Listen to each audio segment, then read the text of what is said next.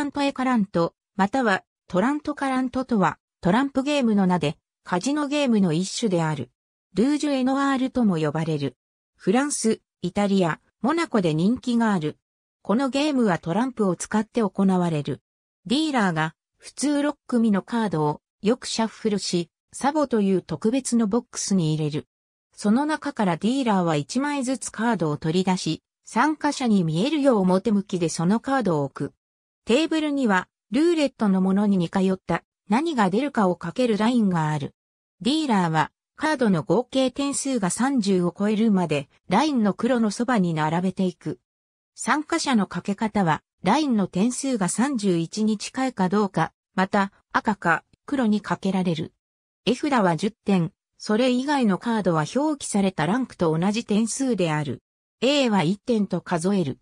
例えば、K と4の合計は14点である。カジノによっては、サレンダーやアンプリゾーンなどがある。ありがとうございます。